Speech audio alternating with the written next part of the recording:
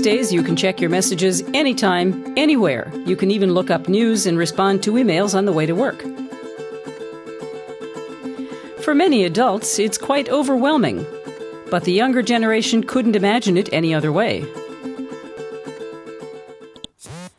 Florian is 17 and has just come back from the US.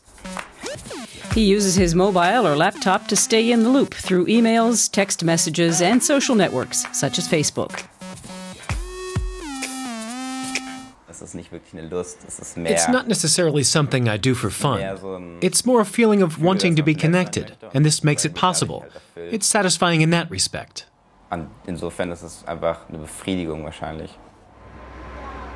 For Florian, fast communication is key.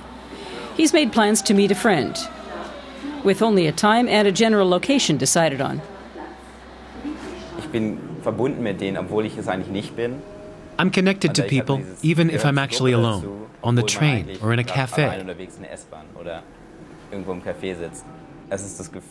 It's that old feeling of wanting to belong to a group. You want to be connected.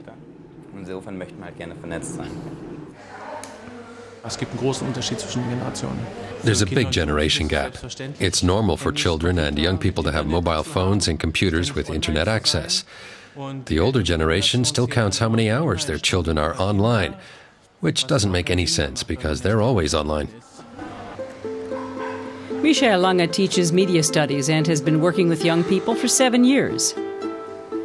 Over the last couple of years, technology has changed drastically. The Internet, a vast playground. It's about experimenting and communicating. Jill is 15 and a member of numerous social networks, including Facebook, Jappy, and Twitter.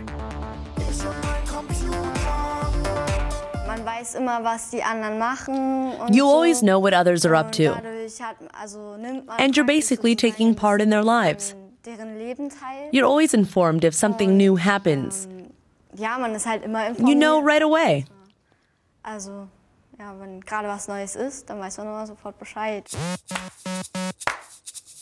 A smartphone is a must for the tech savvy generation.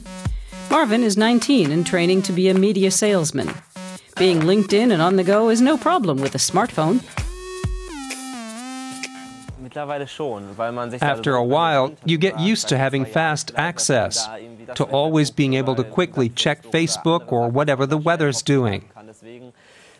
It really is quite important to me, and I'd probably notice something missing if I put it away for a week. It's both an inspiration and a distraction. Dorothea has just graduated from high school and wants to pursue media studies. She leads an active internet life. If someone starts a discussion on Twitter and people join in that you don't know, then you go on their profile and see if they posted a link that has Facebook comments, etc. It's extremely connected to the point where you lose track of time and an hour has already passed. Being cautious about information often takes a back seat amidst the fun of experimenting. Though the awareness is there, it can be easy to forget. Facebook has all our personal information. I always see ads which are completely tailored to me, but not many people do anything about it because they don't want to give up the communication aspect.